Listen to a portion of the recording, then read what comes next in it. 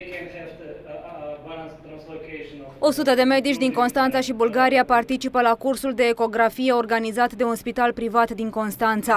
Anul acesta, lectorii din Polonia și Anglia au ales să vorbească nu numai despre anomaliile fătului și tehnologia care ajută la depistarea diferitelor malformații, ci și despre latura extrem de neplăcută ce urmează diagnosticării. Cum dai vestea mamelor și cum le ajuți să ia decizia cea mai potrivită. Prima oară în România când avem un astfel de titlu.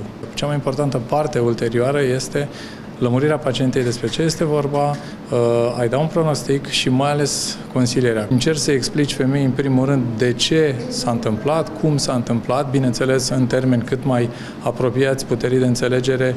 30 de gravide au avut ocazia de a primi și o a doua părere din partea specialiștilor de peste graniță. Au făcut gratuit ecografii la un aparat de ultima generație și au aflat detalii importante despre fătul pe care îl poartă în pântece.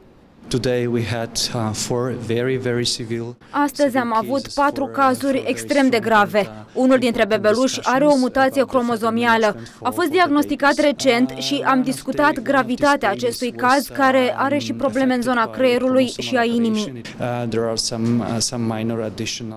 Uh, Cursul este extrem de important nu numai pentru medicii constanțeni, ci și pentru viitoarele mame. Această gravidă a venit tocmai din Măcin, județul Tulcea, pentru a putea fi examinată de medici din Polonia. La mine a fost foarte important, deci uh, la triplu test nu mi-a ieșit ceva bun și a trebuit să fac o analiză foarte complexă și am făcut-o și acum e totul ok, deci sunt uh, convinsă că totul e ok. Cursul durează trei zile și este acreditat la nivel național și internațional.